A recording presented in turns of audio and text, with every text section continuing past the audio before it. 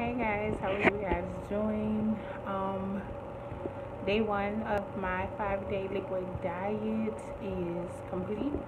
Um, breakfast I had, oh, before I get into what I had, I just want to let everybody know that no, I'm not by any means going or doing weight loss surgery.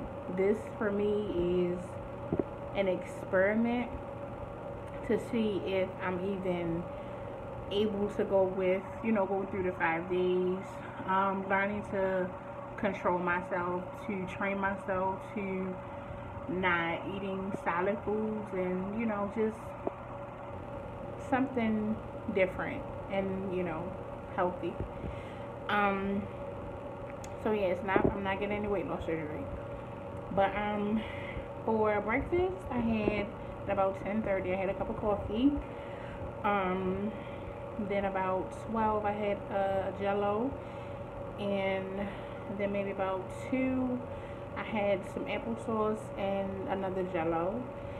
And about 5-ish, 4.35-ish, um, I had a pudding and some applesauce.